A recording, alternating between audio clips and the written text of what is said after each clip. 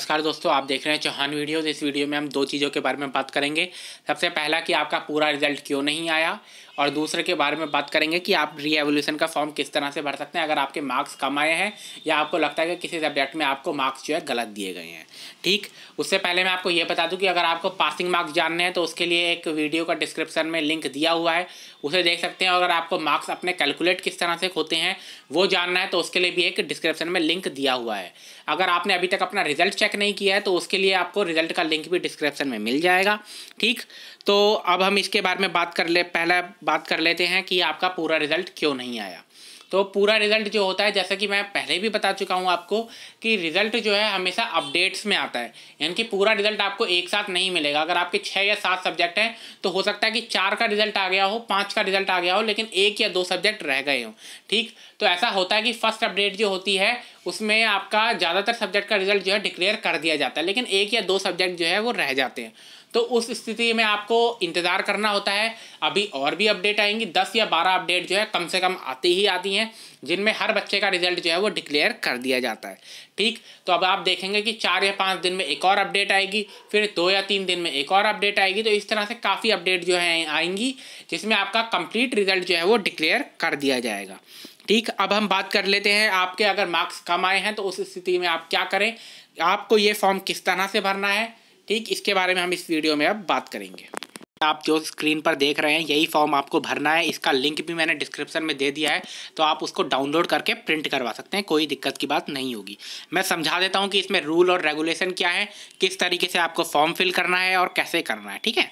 तो सबसे पहले तो अपना नाम लिखना है। नाम आप लिख सकते हैं यहाँ पर। ठीक? उसके बाद अपना प्रोग्राम जो है, वो लिख सकते हैं। अपना इनरोलमेंट नंबर जो भी नौ डिजिट का इनरोलमेंट नंबर है, वो लिखना है। अपना एड्रेस पिन कोड कोई दिक्कत वाली बात नहीं है। अपना मोबाइल नंबर और लैंडलाइन नंबर आप लिख सकते हैं। Month and year of the examination जिस सब्जेक्ट का, जिस ईयर का और मंथ में आपने एग्ज़ाम दिया है, वो लिखना है आपको। आपका एग्जामिनेशन सेंटर कोड क्या था? ठीक? आपके पास आपका हॉल टिकट होगा तो उसमें से आपको पता चल जाएगा। ठीक है? और address of the examination centre ये दोनों चीज़ें आपको आपके हॉल टिकट आप देख लेंगे तो उसमें पता होगा और वैसे भी आप जानते हैं कि आपने कहाँ किस सेंटर में एग्ज़ाम दिए थे। ठीक? उसके बाद आगे देख लीजिए कौन कौन से कोर्स कोड और मार्क्स ठीक? किस किस सब्जेक्ट का आपको भरना है? आपके दो सब्जेक्ट में कम नम मार्क्स है, जिनके आप रीएवल्यूट करवाना चाहते हैं रीचेकिंग करवाना चाहते हैं, तीन के, चार के, जितने के भी तो वो आपको एक एक करके यहाँ पर लाइन बारी से लिखना होगा कि ठीक, ये मेरा कोर्स कोड है। जैसे मेरा अगर F S T zero one है, ये मेरा कोर्स कोड और उसमें मार्क्स मेरे बीस आए तो वो आपको जो है लिखना है यहाँ पर। ठीक। उसके बाद the fee for reevaluation of answer script is rupees seven hundred fifty. सात सौ पचास रुपये आपको जो है फ़ीस भरनी पड़ेगी एक कोर्स की। यानी कि अगर आपने दो कोर्स के री दो कोर्स का री एवोल्यूशन करवाना है, रीचेकिंग करवाना है तो पंद्रह सौ रुपये आपको फिर जमा करवाने पड़ेंगे।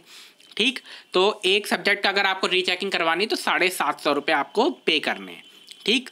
और ये भी मैं आपको बता दूँ, बहुत इंपॉर्टेंट है ये बात जाननी कि जिस दिन रिज़ल्ट डिक्लेयर हुआ है, उसके तीस दिन के अंदर आपको ये फॉर्म सबमिट कर देना है। ठीक, तीस दिन के अंदर थर्टी डेज़ के अंदर, ठीक? ये बात आपको पता है। आप यहाँ पर लिख देंगे कितने सब्जेक्ट का करवाना है, दो, एक और उतना प्राइस आपका देना है। टोटल अमाउंट ये रहा डिमांड ड्राफ्ट जो भी आपने बनाया है और बैंक का, जो भी बैंक का इशू किया हुआ है बैंक का नाम, ये सब, और सिग्नेचर आपका, ठीक? ये सब चीज़ें बैंक का डिटेल्स होगी। उसके बाद रूल्स एंड रेगुलेशन भी लिखे हुए हैं यहाँ पर तो उनको भी आप पढ़ लीजिए। The request for reevaluation by the student must be made within one month of declaration of his result जैसा कि मैंने बताया, एक महीने के अंदर आपको ये फॉर्म सबमिट करना है। ठीक? दूसरा पॉइंट क्या है? The date of declaration of result will be calculated from the day on with the result are placed on the IGNOU website यानी कि जिस दिन रिज़ल्ट डिक्लेयर किया गया इग्नू वेबसाइट पर, उससे तीस दिन गिने जाएँगे। ठीक?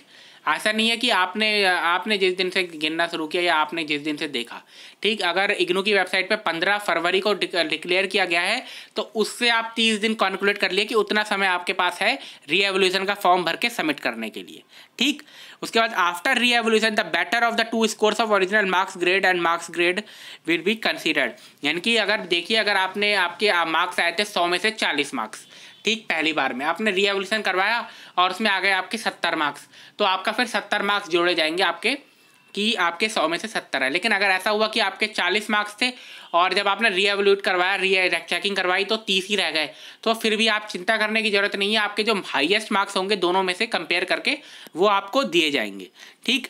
The revise marks grade after reevaluation shall be communicated to the students on receipt of reevaluation result and result of reevaluation will be made on IGNOU website जैसा कि आप जानते हैं कि रिएवल्यूशन का रिज़ल्ट भी इग्नू की वेबसाइट पर आता है, जैसे ही आएगा तो उसके बारे में भी मैं आपको अपडेट जो है वो दे दूँगा, ठीक? तो इग्नू की वेबसाइट पर आपको आ जाएगा।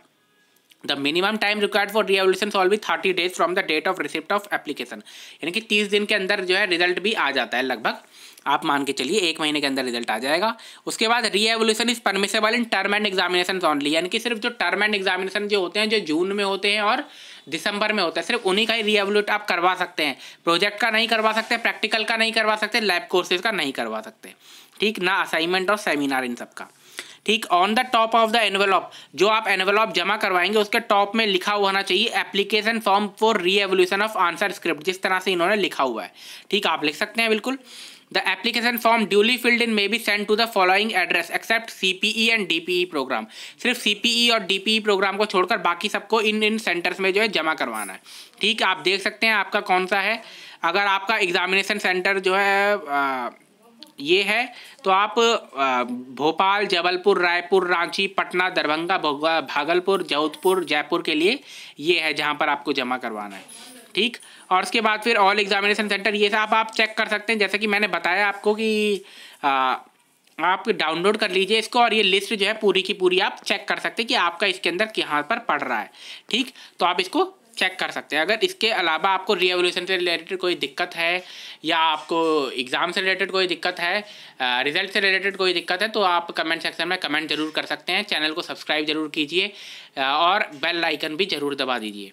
ठीक? और जैसा कि मैंने बताया कि आपका रिज़ल्ट पूरा क्यों नहीं आया तो रिज़ल्ट पूरा आपका इसलिए नहीं आया क्योंकि रिज़ल्ट जो है इग्नू में अपडेट्स में आता है। तो एक बार में पूरा रिज़ल्ट किसी का भी नहीं आता। पहली अपडेट में ज़्यादातर रिज़ल्ट डिक्लेयर कर दिया जाता है, उसके बाद दो या तीन सब्जेक्ट का ज़्यादा से ज़्यादा आपका रह जाता है। तो वो अभी आपका जल्दी ही डिक्लेयर कर दिया जाएगा। अभी आप देखेंगे कि चार या पाँच दिन के अंदर एक और अपडेट जो है वो इग्नू की वेबसाइट पर आ जाएगी। तो इस वीडियो में हमने इसके ऊपर बात की। वीडियो अगर आपको पसंद है तो वीडियो को लाइक ज़रूर कीजिए और चैनल को सब्सक्राइब ज़रूर कीजिए और वीडियो को ज़्यादा से ज़्यादा शेयर कीजिए। वीडियो पूरी देखने के लिए बहुत बहुत धन्यवाद।